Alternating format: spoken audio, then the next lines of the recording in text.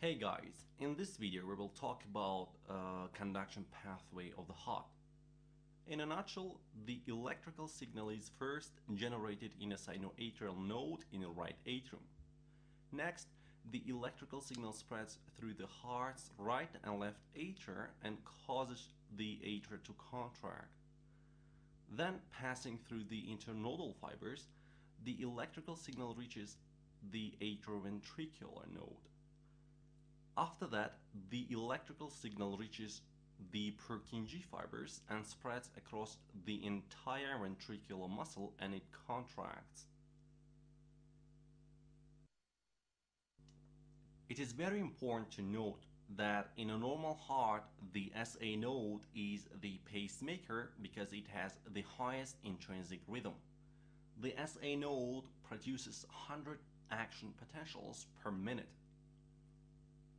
If you take a look at junction between the SA node and atrial myocytes, you will find that the cardiac pacemaker cells are connected to adjoining contractile cells via gap junctions. It means that when the SA node spontaneously generates an action potential, some cations from the SA node leak to the adjoining contractile cells and makes the membrane potential of these cells more positive. If these cations are enough for membrane potential to reach the threshold, then these contractile cells further undergo depolarization and repolarization. In other words, contract and relax. Actually, all cells in a heart are connected with each other through these gap junctions. Therefore, we say that the cardiac muscle is a syncytium in which the cardiac muscle cells are so tightly bound that when one of these cells is excited, the action potential spreads to all of them and allows succinct coordinated contraction of the heart. When the SA node spontaneously generates action potential, first it spreads to the right atrium and to the left atrium through Bachmann's bundle stimulating the myocardium of the atria to contract. It is extremely important to note that between the atria and ventricles there is a high density single structure of the connective tissue which is called the fibrous skeleton of the heart.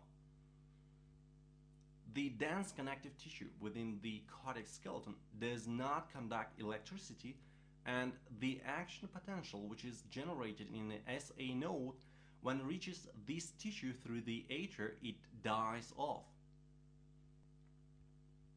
It is extremely important to note that the only electrical conduit from the atria to the ventricles through the cardiac skeleton is the AV node. It is also important to note that the AV node in turn gets electrical impulse mainly through the internodal fibers. It is very important to note that the atrial fibrillation, which is characterized by rapid and irregular beating of atria, can never degrade into ventricular fibrillation.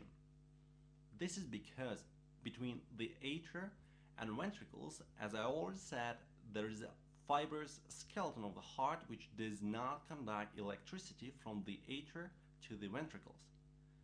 Again, the only electrical conduit from the atria to the ventricles through the cardiac skeleton is the AV node, which receives electrical impulses from the SA node via internodal fibers. It is very important to note that the AV node delays impulses by approximately 0.12 second because the AV node is specialized for slow conduction. This delay in a cardiac pulse is extremely important. This will allow the atria to completely empty their blood into the ventricles first before the ventricles contract.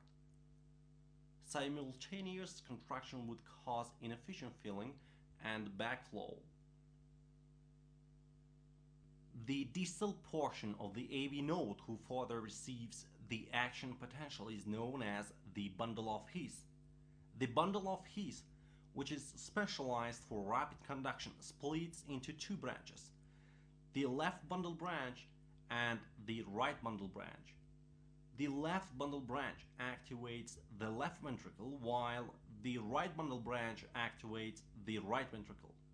The two bundle branches taper out to produce numerous Purkinje fibers which stimulate individual groups of myocardial cells to contract. Heart block is the most common conduction problem in cardiology. The most dangerous is third degree AV block. With this condition, also called complete heart block, none of the electrical impulses from the atria reach the ventricles. If the AV node does not receive electrical impulses from the SA node, it becomes the pacemaker of the heart because the AV node has a second intrinsic rate. It produces 40 to 60 action potentials per minute and of course the ventricles contract same amount of time. Patients frequently feel poorly in complete heart block with lightheadedness and fatigue.